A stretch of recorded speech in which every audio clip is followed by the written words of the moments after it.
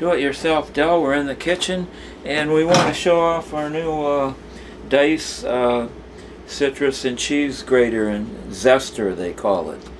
Uh, Z-E-S-T-E-R. Can use them on uh, on uh, cheese, lemon, put uh, nutmeg, garlic, ginger, and onion. Well, one of the things too, a lemon, we don't have a lemon, but we do have an orange.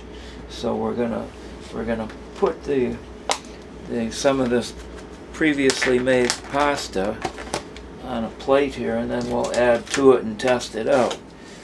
Uh, okay. There.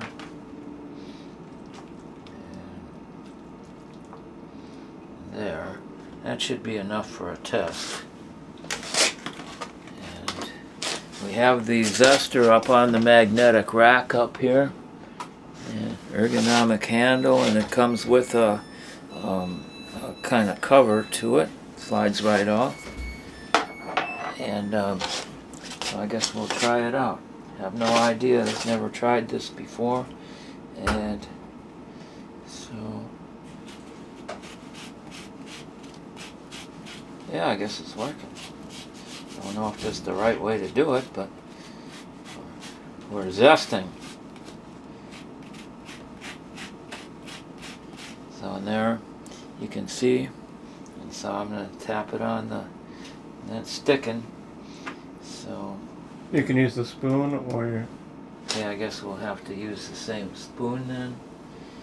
And we'll just scrape it off. Think that's enough? Yeah. Okay, so we got the little orange zesties or whatever you want to call it on the, the pasta. So, am I supposed to test this out cold?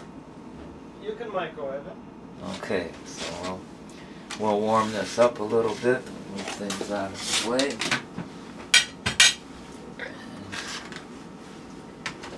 So how much? About 45 seconds? Yeah, that sounds good. Okay. We'll warm it up and we'll test it out. Mm-hmm.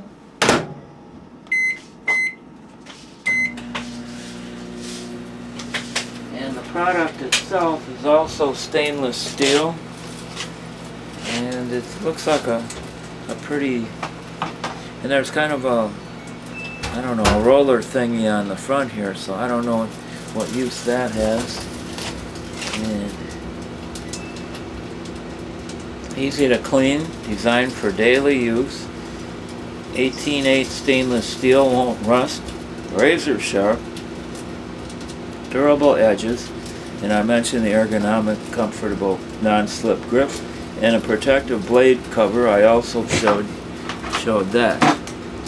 So you want to make sure that you clean it off before you put it away though. Otherwise, Right, whatever you right. zest next time is going to be orange. fully intend to do that.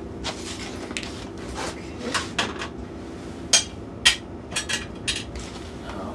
Yeah, Oh, it's smoking. You know that? Look at that, smoking.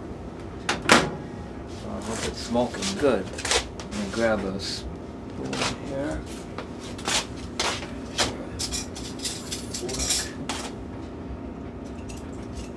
Okay.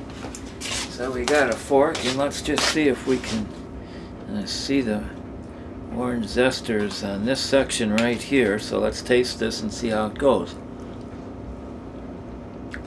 Can taste the orange.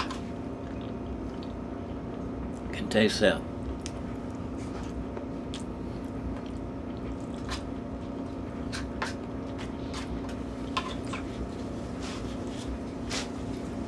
Normally this would have been done with a lemon, but um, if you got a a dish or an item that you want to spice it up a little bit, this is one of the ways you can do it using that zester. So I was totally unfamiliar with the product, didn't even ever heard the word zester before, but now I'm a zester person. And the, the belief is in the pudding. It tastes. It tastes. You can taste the the kind of accent to the food. Here's another another picture of this. So, like I say, this is on going going on the magnetic rack. So just reach for it and pull it off, and And uh, this will have to be cleaned, of course, but uh, that's that's the way of things. So there you are with uh, Dice, the Dice stainless steel zester in use.